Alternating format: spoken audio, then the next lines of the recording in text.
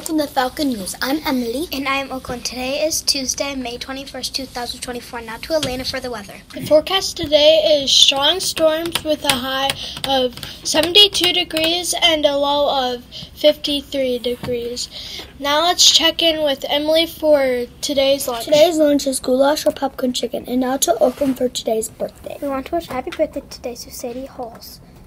Now, have an awesome day. Now to Elena for a fun fact. Why don't woodpeckers get head headaches?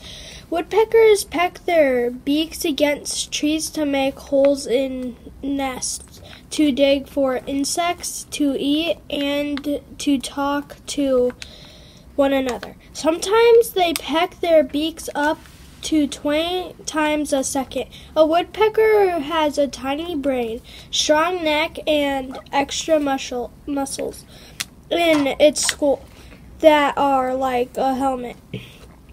This stops its brain from bouncing about while it is pecking.